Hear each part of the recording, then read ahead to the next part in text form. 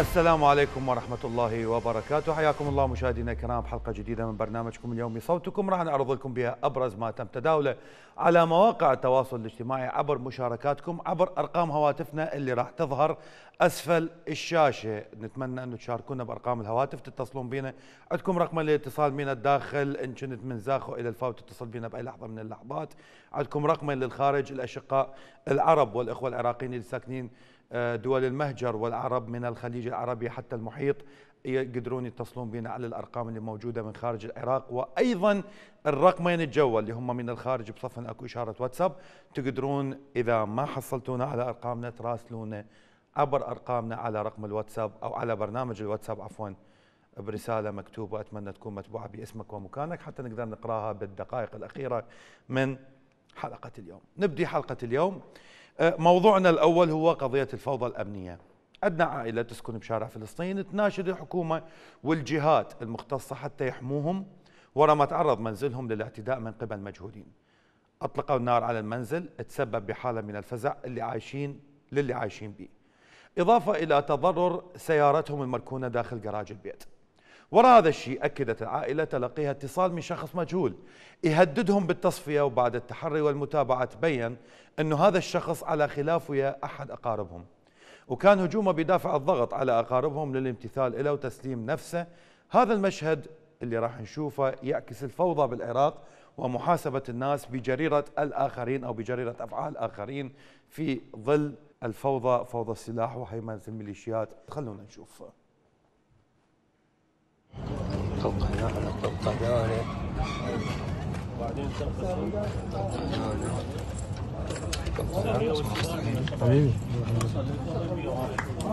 か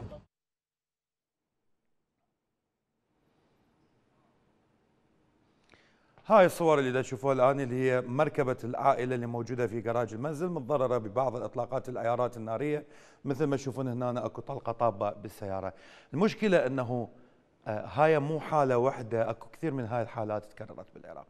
إذا نريد نبقى بإطار الفوضى الأمنية وما يترتب عليها من إزهاق للأرواح البريئة وتهديد أمن المواطنين. اليوم توفيت شابة وهي زينب عصام ماجد الخزعلي. زينب عصام ماجد الخزعلي من سكنة قضاء أبو غريب بمنطقة الناحية قرية ألبو علوان الدقمان تحديدا.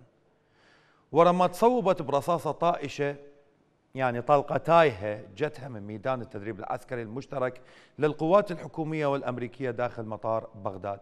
وفقا لشهود عيان. أكدوا تعرض منازلهم ومواشيهم لمثل هاي الإصابات وبشكل متكرر بين الحين والآخر خلونا نسمع شهادة سكان المنطقة. اليوم الساعة تقريبا 7 الصبح ميدان الرمي اللي ميدان رمي مال مطار العمليات المشتركة هاي مو المرة الأولى ولا المرة الثانية ولا الثالثة. آه، صار لنا آه، ما يقارب السنة أو أكثر ميدان الرمي يوميا من الساعة السبعة الصبح لحد الساعة العشرة ما حد يقدر يطلع. تعرف أنت كلها ناس فلح وناس أصحاب مواشي. اليوم ادت آه، على أثر الصبح استشهدت عندنا رقية العفو زينب عصام.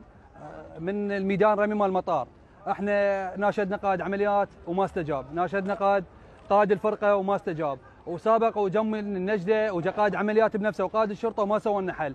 هسه حاليا الشهيده هنا بمستشفى أبو غريب وخلي يجون يشوفون.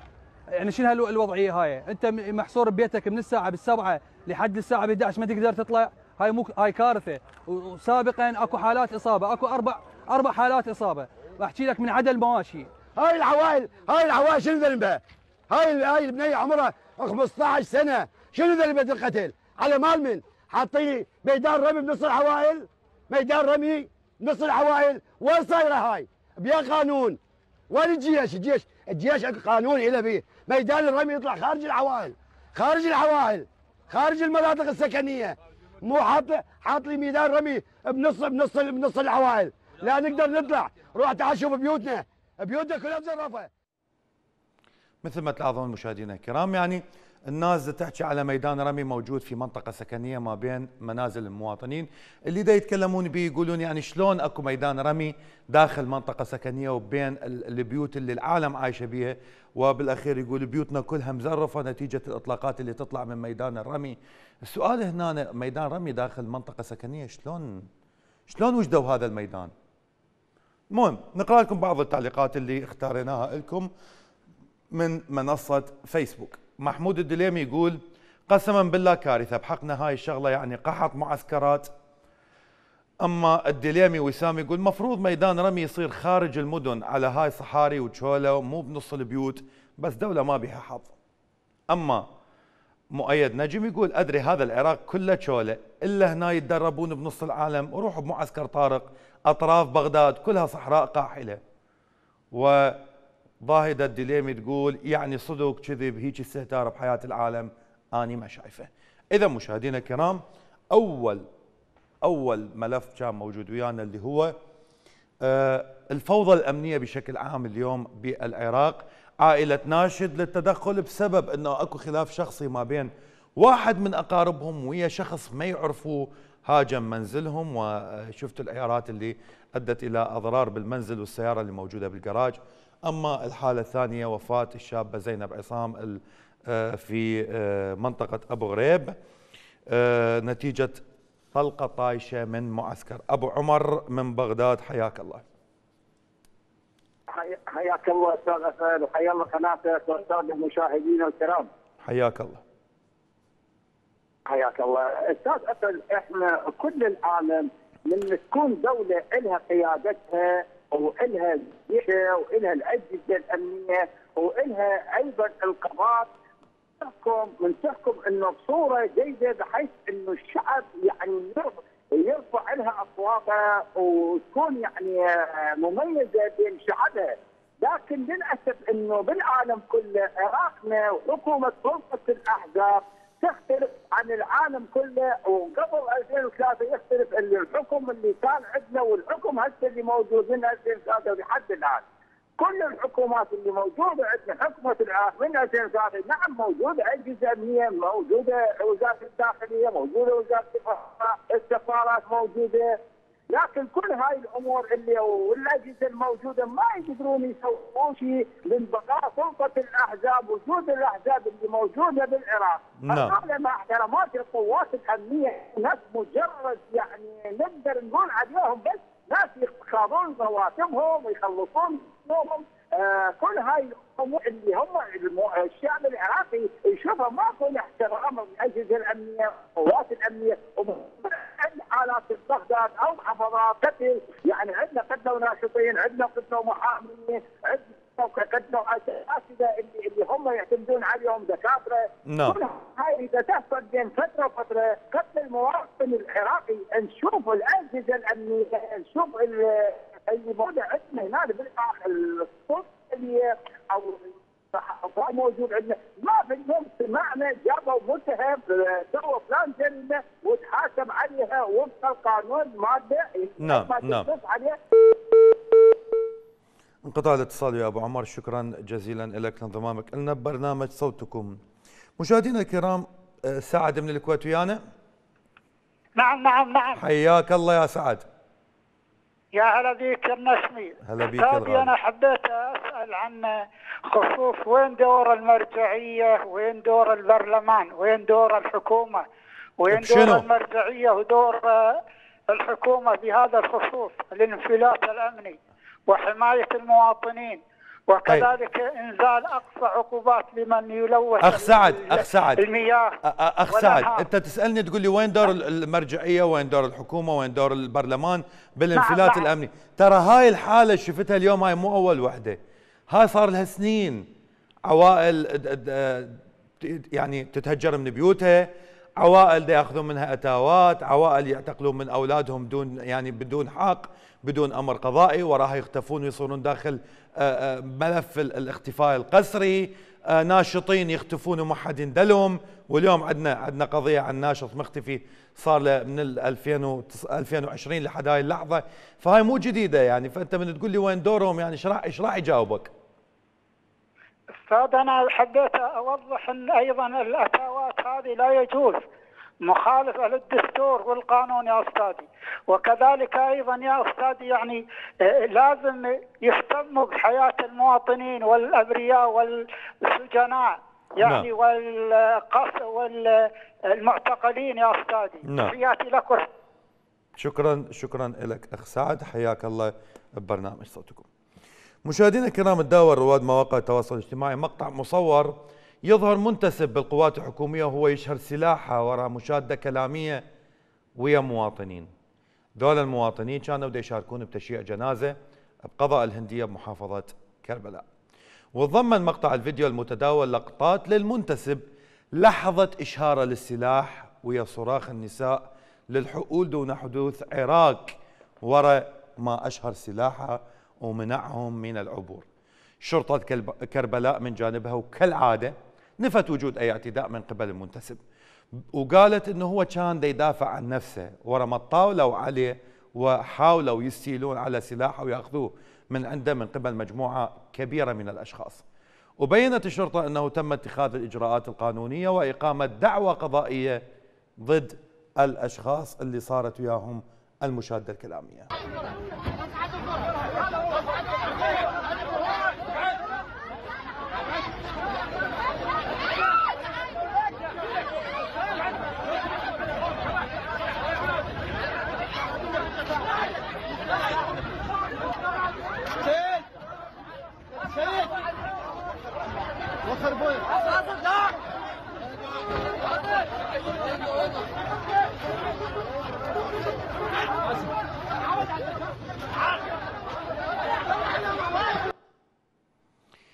الناس ورا ما شافت هذا المقطع. أيضا علقوا عليه واختارينا لكم بعض التعليقات من منصة فيسبوك. أول تعليق موجود ويانا من أبو نوار ضياء السعدي.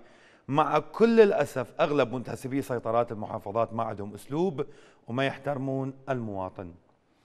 أما عبد الصمد الشمر يقول سابقا كان العسكري يأخذ التحية للجنازة عندما كان لدينا قانون.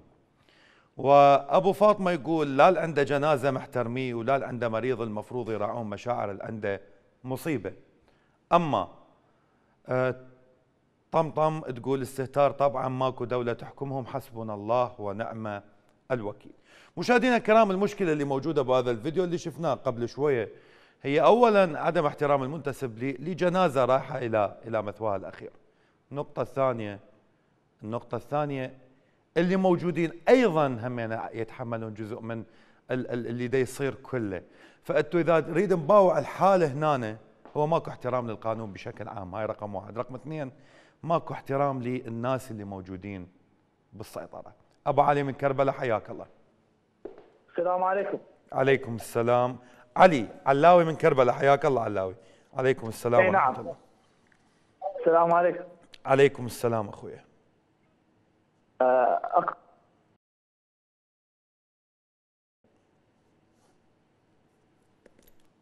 ألو مدى اسمع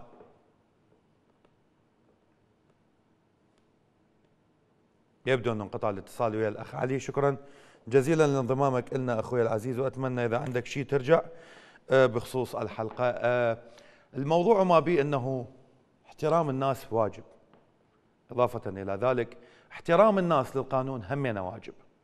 فإذا نشوف هذا المقطع الطرفين يتحملون المسؤولية. ننتقل مشاهدينا الكرام إلى ملف أزمة الجفاف اللي ضرب مساحة كبيرة من عراقنا الحبيب. هاي الأزمة اللي اللي تعز على قلب كل عراقي. بلاد الرافدين بلاد ما بين النهرين بلاد دجلة والفرات اليوم دا يضربها جفاف بسبب أنه أكو أكو بلد جار لهذا البلد لا يتخذ سياسات خاطئة باتجاهها باتجاه أيضا حصص المائية مقطع مصور تناقل ناشطون على وسائل التواصل الاجتماعي. أظهر الجفاف اللي دا يضرب المسطح المائي أم النعاج وسط هور الحويزة في محافظة ديقار. نتيجة قلة الأمطار وقطع مياه الأنهار من قبل إيران. وإهمال الحكومات المتعاقبة للأهوار من عام 2003 وحد هاي اللحظة. والناس والمراقبين والمهتمين بهذا الموضوع كلها خايفة لأنه بسبب جفاف الأهوار راح يخرجوها من لائحة التراث العالمي لليونسكو. خلونا نتابع.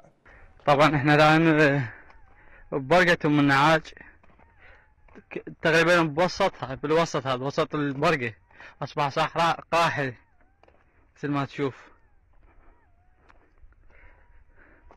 كان من المستحيل يوصل جاموس اللي هاي البقعة الآن. كانت العمق مال المياه ستة متر ومرات يوصل لأكثر. هسه أصبحت صحراء.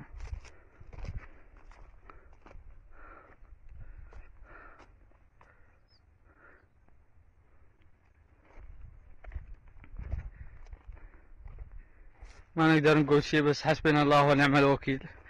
دائما إحنا مو من أولويات صح أصحاب القرار.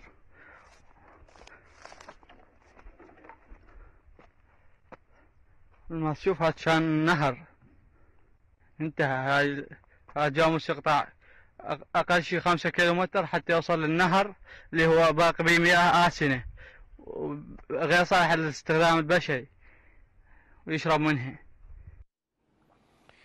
مشاهدينا الكرام الأهوار هي منطقة بالعراق بها مسطحات مائية مدرجة على لائحة اليونسكو. الأهوار كان يعتمدون سكانها على شغلتين بالأساس اللي هي الأسماك وتربية المواشي وخصوصا قطعان الجاموس.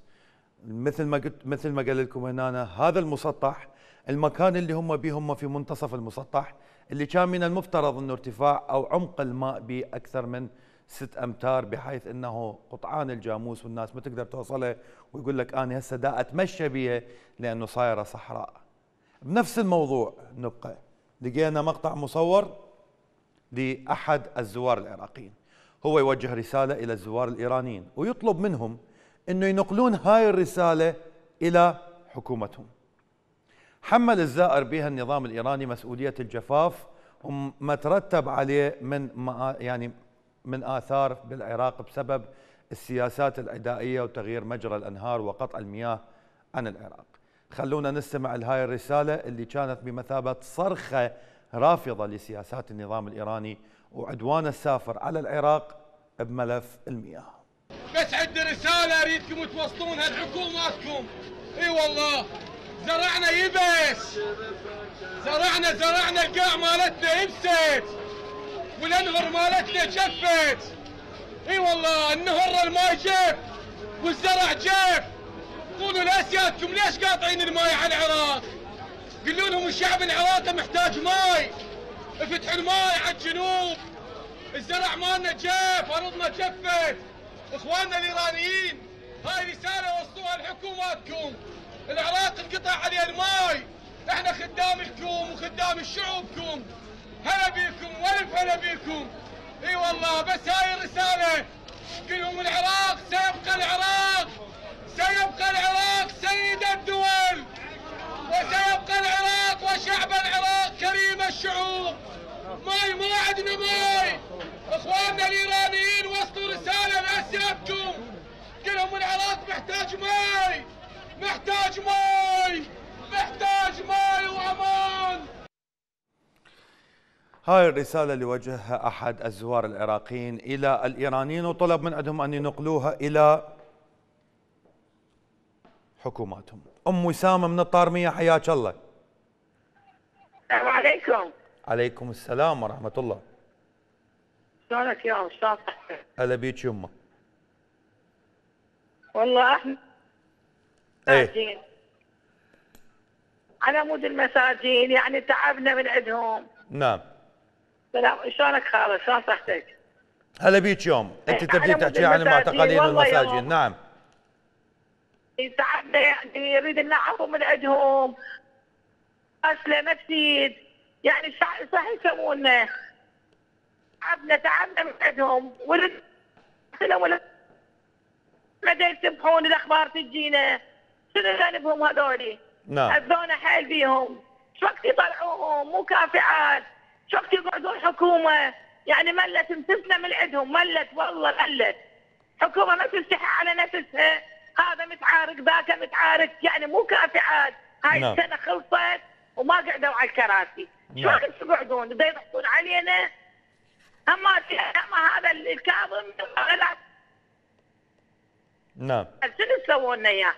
يعني أذونا بشكل بشكل أذونا؟ نعم. تعبت نخلص من عندهم. الله يخلصنا من عندهم. ولدنا كتلهم العطش كتلهم الجوع تعبوا. تعبوا والله تعبنا. حتى فلوس ماكو نروح لهم بعد. نعم. الحاجة غالية كل شيء غالي بالسوق يعني شنو ذنبنا إحنا؟ نعم. شوية يحسون بينا.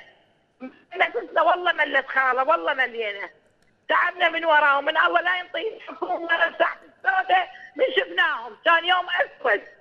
يوم أسود يوم قعدوا على الكراسي ودا يتعاركون النار النار كلها عليهم نعم. نخابر النائب النائب كل شيء ما يسوي كل ما ادق عليه يقول لي ما موجود ما موجود ما مو... يا ليش ما موجود؟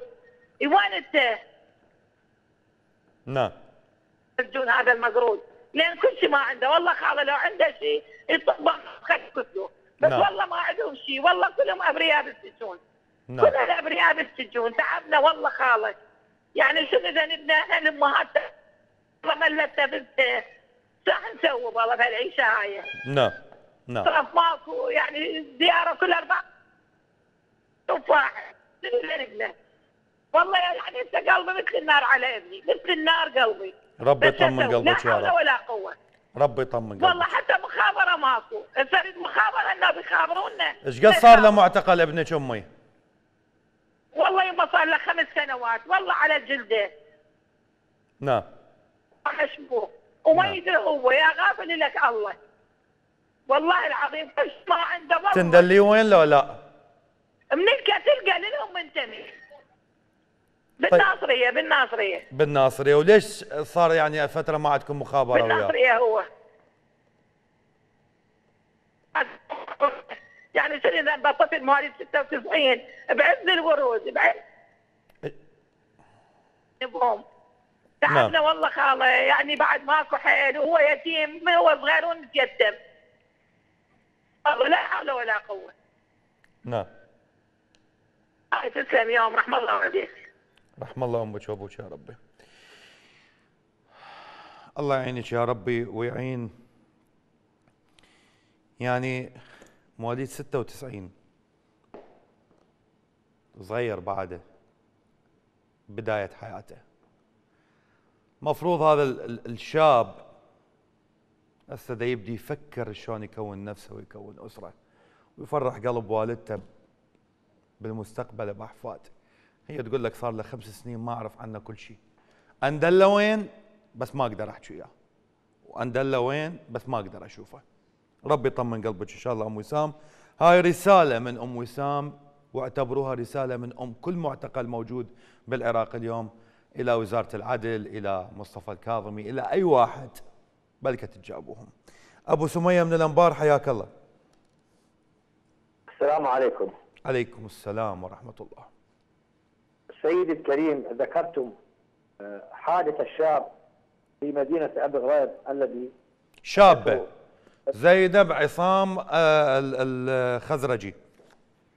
الخزعلي عفوا. أتته أتته إطلاقة طائشة من تدريبات القطاعات العسكرية التي قريبة من المدينة. نعم. أخي قبل كل شيء آه للأسف أرواح هذا الشعب آه رخيصة أمام الحكومة. نعم. ومدينة أبي غريب تتعامل معها قوات الجيش. التي تتغلغل فيها الكثير من من ال- الأفراد الطائفية في قطاعات الجيش في هذه المدينة. نعم. فأرواحهم رخيصة. فهذه قطاعات الجيش عرفت ولا زالت تعرف بأنها تتعامل بطائفية وانتقائية مع هذه المدينة. نعم. أما هذه الحكومة الفاشلة التي تتوالى منها أحداث انتهاك حريات الإنسان نعم. وكرامته وحياته يوما بعد يوم. متى تضع حدا لهذه الانتهاكات؟ وهذا الابتذال وهذا وهذه الاستهانة بأرواح الناس. يا نعم. سيدي الكريم الذي يأتي إلى الحكم وهدفه آه، عدالة المجتمع وهدفه رفاهية المجتمع ويحسب حسابا لأرواح الناس تراه يتألم ويقيم الدنيا ولا يقعدها إذا فقد أحد أفراد الشعب. أما بالنسبة لهذه الحكومة فللأسف أتت منافسة على الكراسي ومنافسة على الثروات ونهب الأموال فإن المسلسل سوف يستمر ولا حد له لأنها حكومة فاشلة ولا حد لهذه الانتهاكات نعم نعم حتى نعم. تتبدل هذه الحكومة والشكر للبرنامج. شكرا شكرا لك أبو سمية. بالنسبة ما يخص الجفاف ورسالة الزائر في آه، التسجيل إلى الإيرانيين وطلب نقل رسالته إلى الحكومات هناك العالم علقت على هذا الموضوع.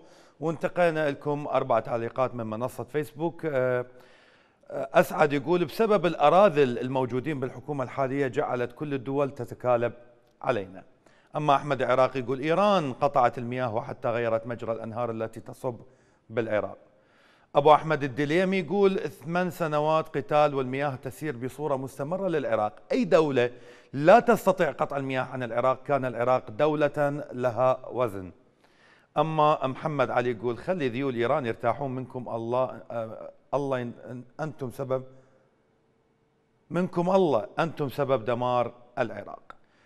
اذا كان هذا الموضوع الثالث اللي هو الجفاف اللي ضرب الأهوار وخصوصا آه، هور يعني مسطح ماء بهور الحويزة في محافظة ذقار والرسالة اللي نقلت إلى الزوار الايرانيين وطلبهم اللي صور الفيديو أو الرسالة أنه ينقلوها إلى الايرانيين. ملف الصحة مشاهدينا العراق وما أدراكم شنو من مصايب به؟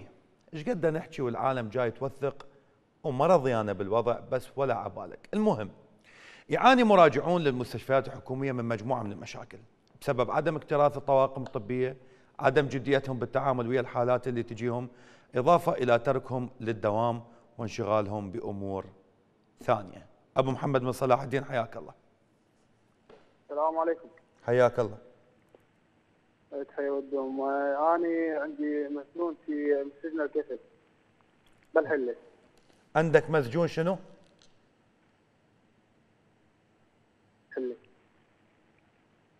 طيب. إيه فيكسرون المي مشترى اكل ضعيف ما يوصلهم اكل نعم. إي نعم وحدث سرقات كثيرة يعني داخل السجون. نعم. إيه، ونطالب الحكومة يعني بالعفو العام وإجراء المستلزمات. نعم. في في سجون العراق. نعم. وقضايا كثيرة بس ما حد قاعد يتابعها. نعم. يعني أنا كمسجون عندي يعني السجين مظلوم. نعم. التهمه تهديديه بسبب الحقود وال- والبغضاء. نعم. فأصبحت هذه الحجة يعني متداولة في خاصة أنا صرت يعني من صلاح الدين. يعني إذا أنا نبغض عليك أو شيء أروح اشتكي عليك اسم حرب أرهاب. نعم. آه، فأتمنى أن تطرح هذا الشيء.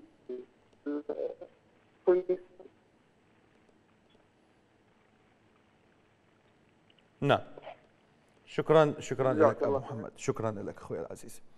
آه، بقضية ملف الصحة مثل ما قلنا أنه عدم اكتراث الطواقم الطبية وعدم جديتهم بالتعامل ويا الحالات اللي تجيهم وتركهم للدوام وانشغالهم بأمور ثانية مثل ما يقول المراجعين. مثلا بالبصرة جنوب العراق. بدل من الأطباء رصد مواطن بصري حالة جديدة في مستشفيات آه، آه، العراق خصوصا مستشفى الموانئ اللي دا تشوفوها ورايا هسه. آه، قطط تسرح وتمرح بالمستشفى بوسط المحافظة بعد حاجته لتقديم العون للمريض المرافق له. الآن في مستشفى المواني حال ما وقدا ولا واحد؟ شودة شوف بس البزازين.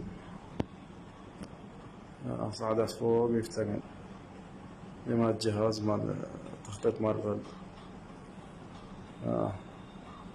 هسه قد واحد يبدل المقدمات بس البزازين هاي الوضع كلها واضح شوف. يعرفون اللي موجودين بالمس عفوا اللي المفروض يشتغلون بهاي المستشفى إنه ممنوع تدخل اي أي حيوان المستشفى لازم تبقى المواد والأجهزة معقمة. لأنه أكو احتمالية إنه ال- الحيوانات القطط وحتى لو كانت حيوان أليف تنقل ميكروبات وجراثيم من الخارج إلى الداخل. نبقى بالبصرة. ونروح لغير مستشفى. تحديدا مستشفى الفيحاء. احد المواطنين أكد ترك شاب تعرض إلى حادث دهس يعني إنداس بالسيارة أو اندعم. تركوا لي أكثر من ثلاث ساعات. من دون طبيب من دون أي علاج من دون اتخاذ أي إجراء. على الرغم من سوء حالته الصحية وتدهور حالته الصحية بمشهد يبين لكم حجم الإهمال المستشري بالقطاع الصحي والمستشفيات الحكومية. خلونا نشوف. هاي هسه عندنا حالة طارئة بالمستشفى ال- الفيحاء. من التسعة لحد الوحدة ونص دا دكتورة إجت. ولا هاي بس أول ما شافوا الحالة والنوب هسه قاعدين هناك. كاظات التليفونات و- وجاية تراسلين. هاي الدكتورة شهد ما أدري يسمونها. زينب زينب. الدكتور آه، بالمستشفى مال الفيحاء هاي شوف. هاي الشباب جاي يخلوا له هوا اصطناعي هذا وشوف هذا المغذي. مثل ما تشوفون يعني الطبيب تارك المريض وعايف الحاله آه، ممرضات أو ممرضين ما موجودين أهل المريض أو اصدقائه هم اللي قاعدين دي يسهرون عليه حتى يعطوه العلاج أو ما دا يعطوه علاج يعني دا يعطوه هواء اصطناعي بجهاز قديم جدا لأن هسه أكو أجهزة جديدة المفروض دخلت بالعراق بال 2022 بحجم الميزانيات الانفجارية لوزارة الصحة. من المفروض إنه أكو أكو أجهزة. أبو آه، أحمد من بريطانيا حياك الله يا أبو أحمد. الله محييك تحية لك أستاذ. حياك الله أخوي العزيز. وإلى ارفع أستاذ قناتكم الوطنية. أنا حياك أدي رحمة أول شيء رحمة على شهداء العراق. نعم. ثانيا دعوة لكل المغيبين.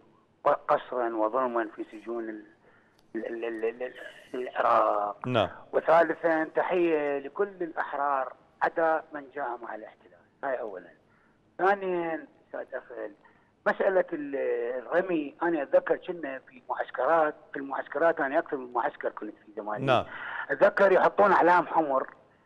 إعلام للعالم إنه ترى اليوم أكو رمي. هاي رقم واحد. ثانيا مدى الرمي مدى الرمي هو عبارة عن مسافة بعيدة جدا وكيلومترات لا يوجد وراءها شيء مثل وادي مثل سفاح مثل اي شيء. صحيح، أتذكر مركز نعم. تدريب النجف أركز أتذكر مركز تدريب المسيب أتذكر مركز تدريب جسر دياله ذني كلنا اتذكرهم خدمت بهم يعني بالتدريب ماكو ماكو مكان تلمي به من وجود ناس هذا معناته إنه بس نريد ناس تشتغل شغل حقيقي لخدمة العراق الآن المصيبة ماكو ناس تشتغل لخدمة العراق. لو أكو ناس تشتغل لخدمة العراق وتحب العراقيين تفكر بهذا الشيء. اللي يعلمك أكثر إنه إحنا بدنا نطلب إنه إيران ليش ساده المي وتركيا ليش ساده المي أخي والله أنا عندي خريطة مال مسح جيولوجي سنه 1984 فيها كل مقالع العراق المواد الأولية وفيها كل أخبار العراق الموجودة. العراق طافي على ماء ونفط نعم. بس نريد ناس تشتغل في و... في وزارة الموارد المائية. أنا شكو بكلم بإيران وكلم بتركيا وكلم ب... والله عندنا ماء في كل مكان، والله عندنا ماء في كل مكان، ها صحراء الأنبار والله كلها ماء. الم- المناطق الأخرى في بس أبو أحمد ماء. أبو أحمد هذا ما يمنع أنه انه العراق عنده حصص مائية طبعا طبعا لا طبعا هاي يعني يعني دولية. okay العراق عنده عنده عنده آه، مسطحات مائية. جوفية داخل آه، تحت تربة العراق ما استغلوها okay لكنه ال- هذه اللي ما استغلوها نفكر بيها واللي موجود فوق اللي هو نعم، حقنا نعم. ينقطع عنا هذا الما مقبول. لا متفقين إحنا متفقين. نعم. ما عندنا خلاف في هذا. نعم. إنه هاي اتفاقات دولية هاي لك هاي لها متفقين عليها بس أنا أقصد إنه إذا جارك كان مخرج شهر تضرب عليك بحجار أنا ما أقدر أنتظر. يعني هم ادور فد بديل. وتدري إنه الناس الموجودين الآن هم مو دولة. جايين يريدون يشتغلون. لو جاي يشتغل طيب. كان يفكر اولا هذا الشرطي بس خليه اوصل لك هاي الفكرة. نعم. تستعجل لي ولو هذا الشرطي مش شال مسدس يعتبر نفسه هو الدولة. هذا الشرطي لازم يحاسب. أنا أتذكر في اليوم واحد من السيطرات بطنة لي قدام. قلت له معقولة؟ أنا أتذكر العسكري دائما يكون بطنة مسح يعني لازم. فالظاهر تم تأسيس كل شيء على أساس خراب وعلى أساس فاسد نعم نعم نعم. شكراً شكرا جزيلاً لك. شكرا لك أبو أحمد. انتصار من بغداد حياك الله. ألو السلام عليكم. عليكم السلام ورحمة الله وبركاته. عيوني بلا زحمة عليك. آه، إيه. الرافدين وانت القناة الوحيدة تسمع الصوت واللي تعاني من من معاناة السعاد نعم. محتاجين أنا آه، ببغرد إحنا طبعا كله مشترى الأكل مشترى هم نعطيهم فلوس من الحانوت نعطيهم كل شيء ما يقدرون يوصلون لهناك نعم. فنعطيهم فلوس الملابس إحنا نوديها. والملابس أصلا ما يوصلوا لهم اياها إذا أكو تيشيرت اثنين يفوقون واحد. اثنين يعطون واحد واحد هسه آخر مرة أصلا الجنطه همينه وهاي صار 18 يوم. من يوم 2 بالشهر كانت المواجهه طيب.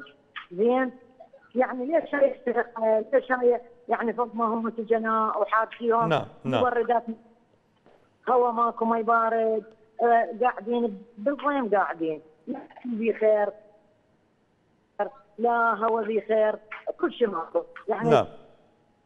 آه. نعم.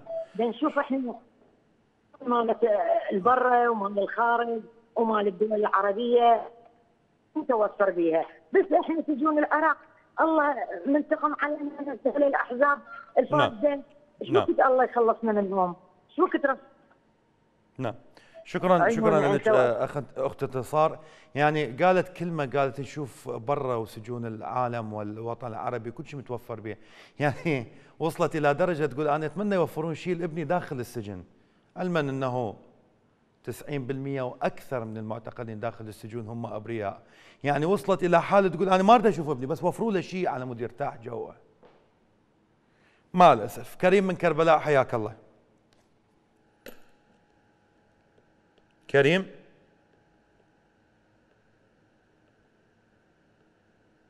كريم ما موجود أو مدى يسمعني؟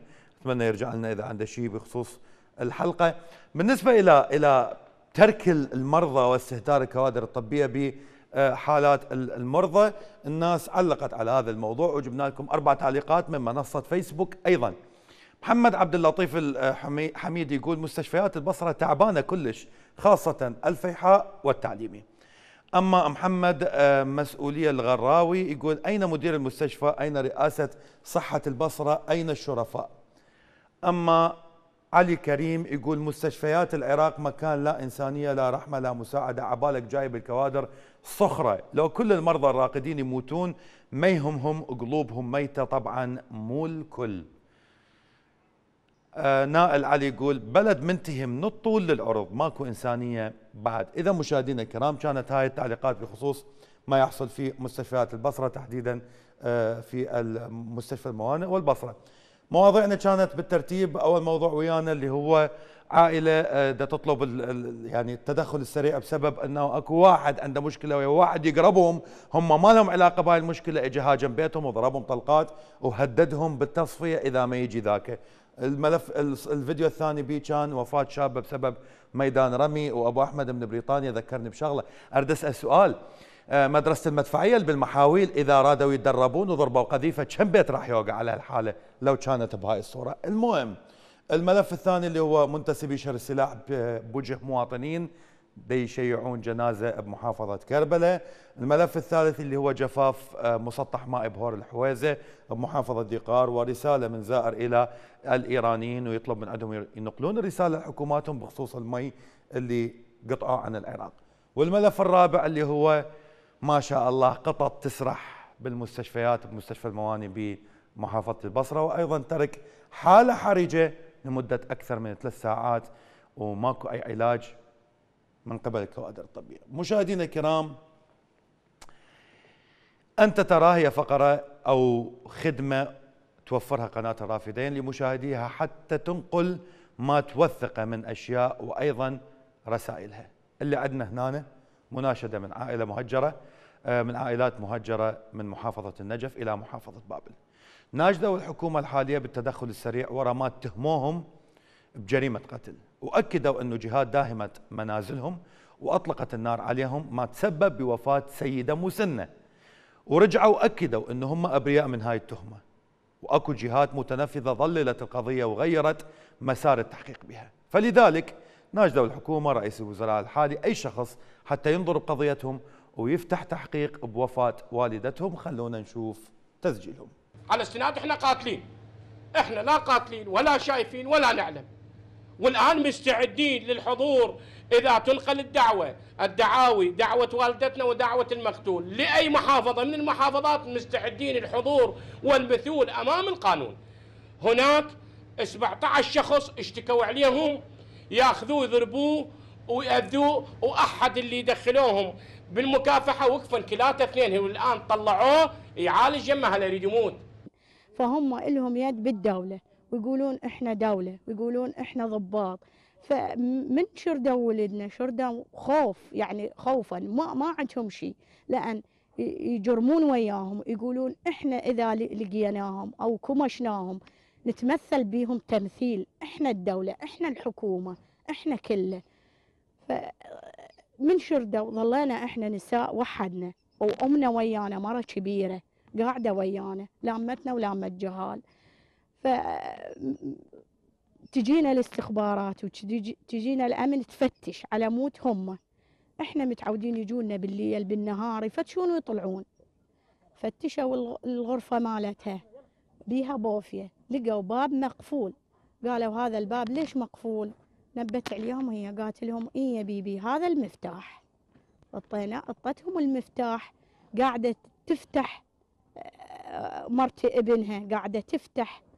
فهو واحد وجه عليها اللايت وواحد قتلها.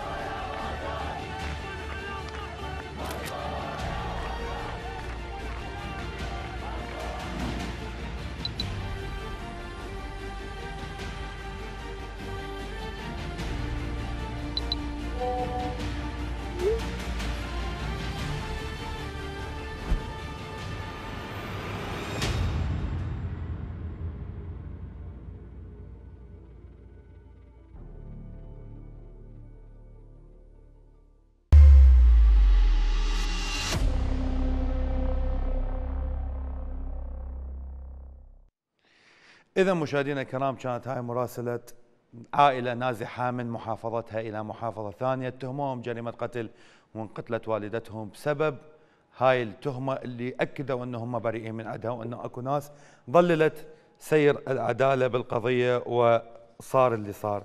القضية وما بيها أنه المشكلة اللي موجودة هنا هي مو جديدة. أكو هواية قضايا صارت نفس هاي القضية.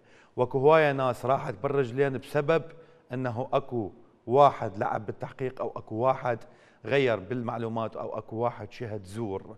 المشكلة اليوم عندنا مخبر سري عندنا قاضي مسيس عندنا قضاء قضاء مسيس من رأس الساسة. فالأساس اللي موجود عندنا غلط اللي دا يصير بهذا. فإحنا الحل وين؟ يمكم. بالنسبة إلى الهاشتاج سجاد ستار العراقي. ناشط مدني من الناصرية. من عائلة بسيطة ساهم بكشف الكثير من الفساد اللي دا يصير بالعراق. اختطف بتاريخ 19 9 2020 ورا منصاب لما كان ويا الناشط حجي باسم بجروح متفاوتة. وغيب هو.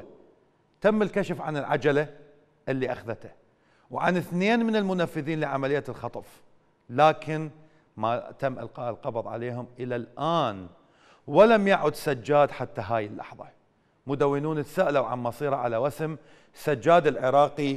وين خلونا نستعرض سوى شوية أو عدد من هاي التغريدات على منصة تويتر وأول تغريدة ويانا من علي المدني. سنتان يا سجادنا ونحن ننادي سجاد العراقي وين؟ ولم نتلقى إجابة. حتى وصلت إلى قناعة أن أشباهنا إما مقتول أو مغيب قسرا أو مبعد أو مطارد أو مسجون بتهم كيدية أو يتعرض لحملات تشويه وتسقيط. هذا ببساطة مصير الأحرار في بلد الحرية. أما التغريدة الثانية من علي الكرار يقول في الذكرى السنوية الثانية لاختطافه من سجاد العراقي؟ يعتبر سجاد ستار العراقي فردا من مجموعة بدأت فعاليات التظاهر المدني في الناصرية منذ عام 2011 واشترك في كل المظاهرات التي أسس لها مع مجموعته طوال تلك الفترة. اختطف بتاريخ 19 9 2020 ولم يعد حتى الآن. هاشتاج سجاد العراقي وين؟ ثالث تغريدة ويانا من العبيدية.